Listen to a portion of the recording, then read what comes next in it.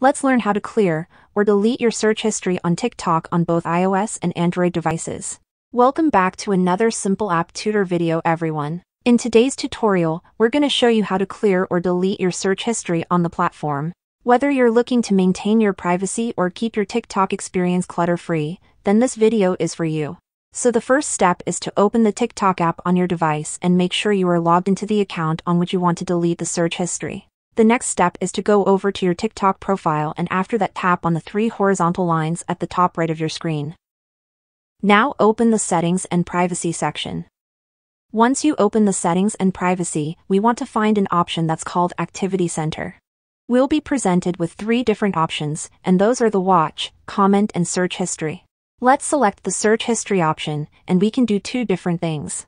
We can click on the Select button and we can select one or a couple of searches that we want to delete.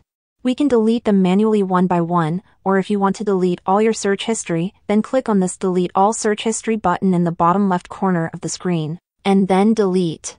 It's going to tell us that this will delete all of our search history from the last 180 days, and that this cannot be undone. If you're sure you want to delete it just click here and that's it. If I go over to my search bar, you can see that our search history is cleared and no one will be able to see what I had searched for. You'll only see the recommended searches that TikTok gives us, not our search history. And that's essentially it. If this was helpful, leave a like and I'll see you in the next tutorial.